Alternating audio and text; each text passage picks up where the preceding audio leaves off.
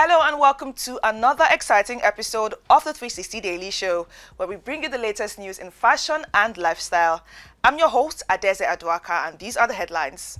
Rema's Calm Down performance takes center stage at Anant Ambani and Radhika Merchant's wedding.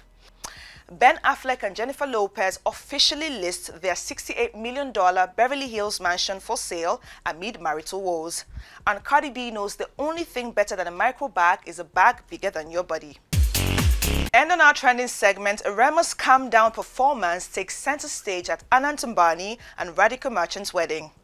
Afrobeat superstar, singer and songwriter Rema brought his energy to the most talked about wedding of the year, performing his hit song Calm Down yesterday in India. Held at the Jio World Center in Mumbai, the lavish ceremony united Anant Ambani, the youngest son of India's wealthiest man Mukesh Ambani, and Radhika Merchant, daughter of pharma tycoons Viren and Shaila Merchant. The lovebirds, childhood sweethearts who had celebrated their love through seven months of elaborate pre-wedding festivities, culminated their journey with a four-day extravaganza.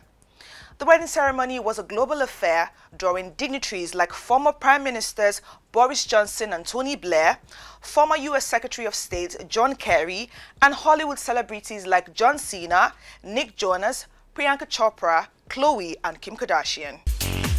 And on our sports segment, Meghan Markle looks radiant in white at the 2024 ESPY Awards with Prince Harry. Prince Harry was honored with the Pat Tillman Award for service at ESPN's 2024 ESPY Awards this Thursday, and his proud wife, Meghan Markle, was on hand to support him. The Duchess of Sussex 42 wore a white halter-neck gown by Oscar de la Renta to the star-studded event at the Dolby Theatre in Los Angeles, with many on social media drawing comparisons between the sleek style and Markle's wedding reception dress, which was designed by Stella McCartney.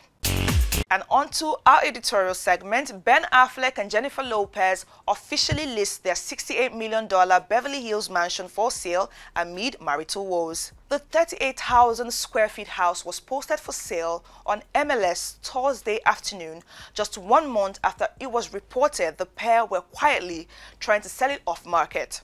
The couple are asking for $68 million for the 12-bedroom, 24-bathroom home, nearly $8 million more than what they paid for when they bought it last year. And on our new collection, Tom Ford Resort 2025. Micro Minis, slinky trouser suits, and flyaway kaftan slit to the hip.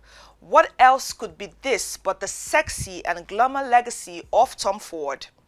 Peter Hawkins, Ford's longtime menswear designer, now the brand's creative director, is a Brit who knows every page of his former boss's playbook, going back to the heady 1990s and aught of the Gucci years. Leafing through the alternating content of barely there body-revealing pieces, sleek Lurex short tailoring, and cotton drill jumpsuits, Rostron said that Hawkins had taken a video documentary about Veruschka, the great German model and artist Vera von Lehndorff, and on Spicy or Not, Cardi B knows the only thing better than a micro bag is a bag bigger than your body. There was a time towards the late 2010s when designers collectively refused to produce handbags bigger than the size of their palms.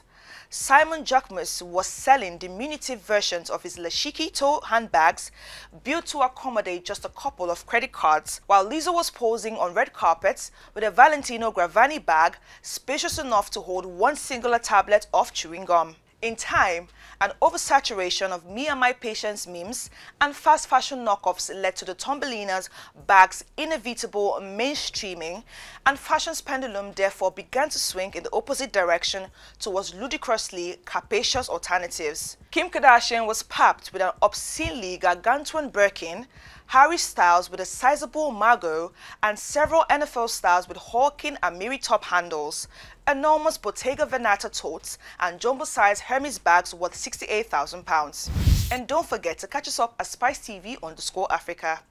Until the next episode, do have a lovely time. Bye-bye.